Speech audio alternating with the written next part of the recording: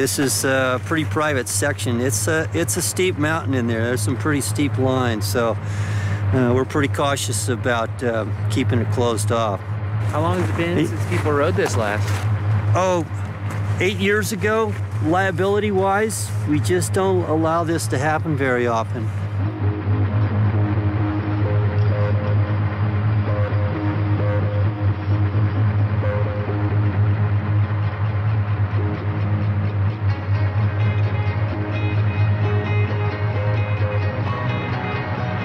I grew up skiing alpine and squaw and staring at this and driving past it and skiing past it and always dreaming and wanting to ski here and finally got to do it today.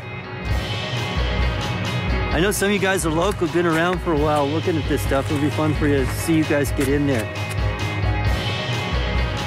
We're gonna test those skis out. Let's get these things activated, shall we? I'm looking forward to it. Let's do it.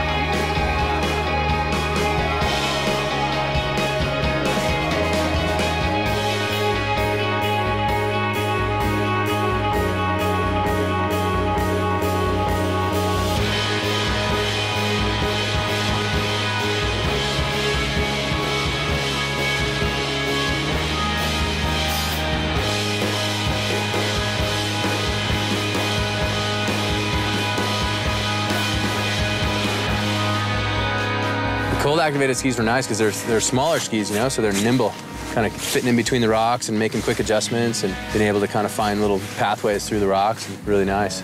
It's better in a way because when the snow's perfect, every kind of ski feels good. When it's a little bit tricky like this, you get a sense for what's working and what's not. I love Troy. He's got a great attitude. Definitely a man of the mountains. Yeah, you can tell he's loving it, just seeing all these people playing in his backyard. He likes to see uh, people having a good time. Pretty nice of him to make it all available for us. I can see why he loves it.